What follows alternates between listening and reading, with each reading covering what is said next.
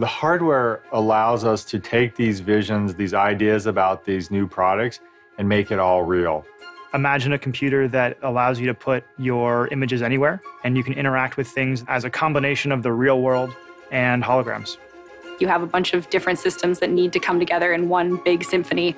Every, every time you think you understand it, it's like peeling an onion. There's suddenly another layer of things which you suddenly realize, oh, yeah, of course, we have to figure that out now. We don't have room for error. We don't have room for drift. We don't have room for those normal things that happen in a device. So it's working with these people across the world and bringing it all together into this brand new product.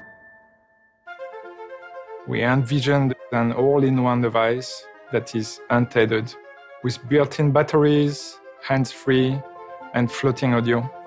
You have to come up with a holographic processing unit because you're constantly producing data every single millisecond. HoloLens is so complex. While it looks very simple and pure, it needs to accommodate so many requirements to see progressive content. The audio components need to take in all of that information about where is my head, where am I looking, so that your brain knows that there's something real over there. The enclosure wraps around the user's head to provide great weight distribution.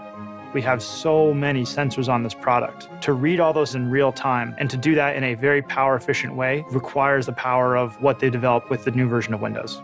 We need to get the hardware just right so that we can sort of unleash that creativity in the world. I think we have great ideas. I think when we get it out to developers, we're going to get hundreds of great ideas. We want to get it out to people and show them, hey, this is real and this actually works. Now, let's see what you can do with it.